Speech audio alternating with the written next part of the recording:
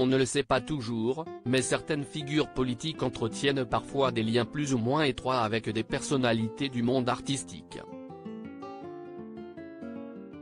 Gad Elmaleh et Rachida Dati ou encore Jean-Christophe Cambadély et Charlotte de en sont de parfaits exemples. Mais s'il y a bien une relation que l'on ne soupçonnait pas, c'est celle qu'entretenait Lionel Jospin avec un célèbre comédien. Il s'agit de Jean-Marc Thibault, qui n'était autre que son beau-frère. En effet, ce dernier a rencontré Sophie Agacinski, elle aussi comédienne, sur un tournage en 1965. Ils ont eu un fils ensemble avant de se marier au bout de 18 ans de vie commune. Il est ainsi devenu le beau-frère de l'ancien Premier ministre socialiste, ce dernier étant l'époux de la philosophe Sylvia Nagasinski, la sœur de Sophie. Décédé en mai 2017 à l'âge de 93 ans, Jean-Marc Thibault était notamment connu pour avoir formé après la Seconde Guerre mondiale un iconique duo d'humoristes avec Roger Pierre. Portés par le succès, ils ont amusé la France pendant près de 30 ans.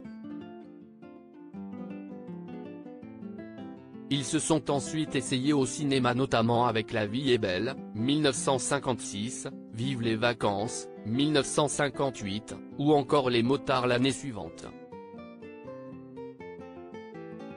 Le beau-frère de Lionel Jospin a ensuite continué sa carrière en solo, enchaînant des dizaines de films et séries, dont Maggie, pour le grand et petit écran.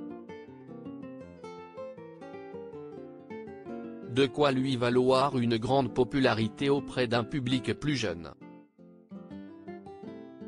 Obsèques de Jean-Marc Thibault, Christiana Reali, Francis Huster, Robert Hossein très ému lui rendent un dernier hommage une femme élue à l'Académie française c'est en 1990, lors du mariage de son ami Jean-Marc Thibault avec la comédienne et documentariste Sophie Agacinski, que Lionel Jospin a fait la rencontre de sa femme, Sylvia Nagasinski.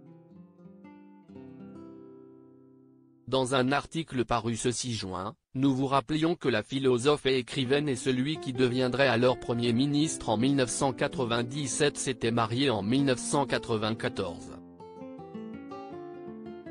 Sylvia Nagasinski a été élue à l'Académie française le 1er juin dernier.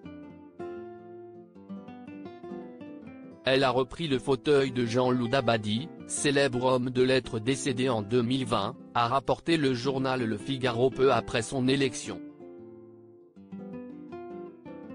Auteur de critiques de l'égocentrisme, 1996, et de politique des sexes, ouvrage paru en 1998, l'épouse de Lionel Jospin fait désormais partie des sept femmes qui siègent à la coupole.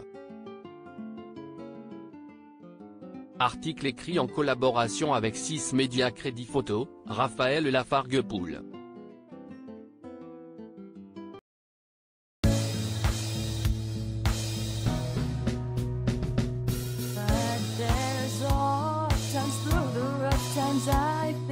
there's